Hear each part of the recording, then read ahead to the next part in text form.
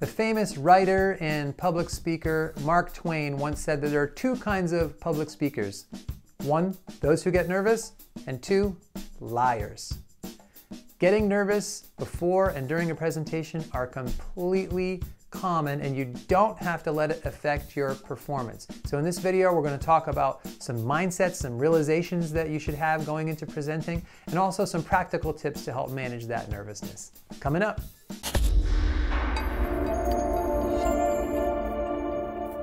So let's talk about some realizations and then some practical tips. The first realization is that you do not look as nervous as you feel. I was recently coaching some presenters, and one of the speakers finished and she said, Oh my gosh, I was so nervous. Now, she had done a good job, but I didn't realize she was nervous. So I said to her, On a scale of 1 to 10, how nervous were you? And she said, 10 out of 10. I was freaking out. And I asked the people watching, the other participants, how nervous did she look? And they said about a 2. So she felt 10 out of 10, top of the scale in nerves. But we couldn't tell. She looked totally composed and, and, normal. She did a great job. So just this one realization alone, I think is really powerful, is that you do not look anywhere near as nervous as you may feel on the inside. And that alone should, I think, relax you. The second realization is just because you're nervous, it doesn't mean you're not doing a great job in that moment. So another presenter said after on a recent, recent coaching session, she said, oh my gosh, I blacked out. I totally don't remember even what I did. I don't know if she actually blacked out, but that's how she described it. She was detached from what was happening. Even though she felt detached, she did a great job, total home run. She did the best I've ever seen her. So just because you feel nerves and they may be getting the best of you, it doesn't mean that you're not actually performing excellently. Keep that in mind. The third realization is that nervousness and excitement are really two sides of the same coin. Bruce Springsteen, a famous musician, talked about how early on he would get very nervous, a lot of stage fright before he would perform, and then he realized, wait a minute, this is like excitement. This is the same thing as I'm excited to go play music for a huge crowd. It gets me going. And so public speaking is a lot like that. You should be a little excited. It don't have to doesn't have to be thought of in your mind as I'm really nervous. You know, you can say, hey, you know what? I'm excited. So you can even take a little control over your thoughts in that way. So those are some realizations. Let's get now to some practical tips. First practical tip is to practice like crazy. And here's why.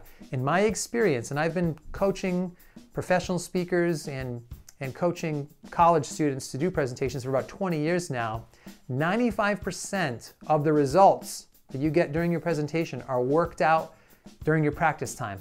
So if you practice like crazy and really prepare well, that presentation is most likely going to go very well. About 95% of, of that is all worked out. So even if you're nervous, even if a couple little things go wrong, it's almost always going to come out pretty much the way you practiced it. So that's a, a great understanding of the process and that, uh, you know, hard work does pay off and you can get and so you should make that practice as realistic as possible. Maybe even have a couple of distractions in there that's fine. If you make a mistake don't start over push through it. If you feel nervous don't rehearse talking about to yourself or out loud how nervous you are because then you might do that during the presentation and that usually makes things worse. So work that out through practice the second concrete tip is as you're preparing, you want to focus everything on your audience and your message.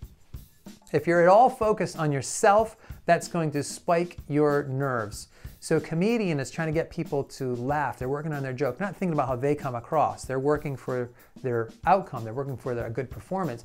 If you're trying to train people, you should be focused on getting them up to speed so they really do know how to do this. If you're trying to share a message, focus on saying it in a way that's going to land and that's going to stick so that everybody gets the most benefit. Anytime we start thinking about how am I coming across? Do I look professional? Do I look nervous or are people going to judge me? It's going to lead in the wrong direction. You have to totally flip it and think about your audience and your message. The next tip is to visualize yourself doing it well, especially the opening moments, that first 10 to 20 seconds. Now, when I say visualization, I don't mean anything weird or experimental or new agey. I mean it the way athletes do it. In other words, before a batter comes up to swing, that batter is going to put himself in the right state of mind so that he visualizes himself hitting the ball well. Adam Vinatieri is a, is, used to be a kicker for the New England Patriots, and in the 2001 Super Bowl against the St. Louis Rams. The clock was running down. They were tied 17 to 17. This is like high pressure situation for a kicker. And he successfully kicked a 48 yard field goal with two seconds left on the clock. The clock was running. There was no timeouts. It was running. And he did it. And, and they won the game. And after the game, people said, you know, how did you do it? You know, the most pressure that any kicker has been under ever. And he said, I have made that kick a thousand times. And he meant it in his life, you know, in his, in his, in his mind. In a kicker's life, that is the moment they live for. And he had visualized himself doing it successfully a thousand times so that in that moment it felt like he was just doing it one more time.